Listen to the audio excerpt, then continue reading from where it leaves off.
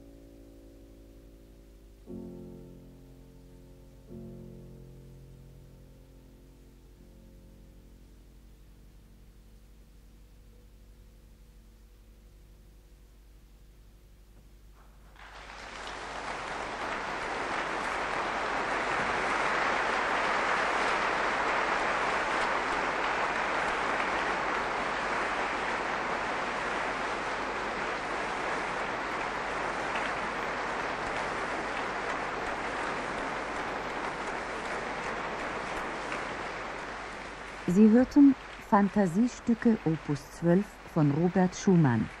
gespielt von Alfred Brendel.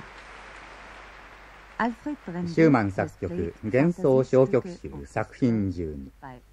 ピアノ独奏はアルフレート・ブレンデルでしたザルツブルクピアノリサイタル3日目の最終回は昨年8月15日にザルツブルク祝祭大劇場で行われましたアルフレート・ブレンデルの演奏会の模様をオーストリア放送協会提供のライブ録音で聞いていただきました。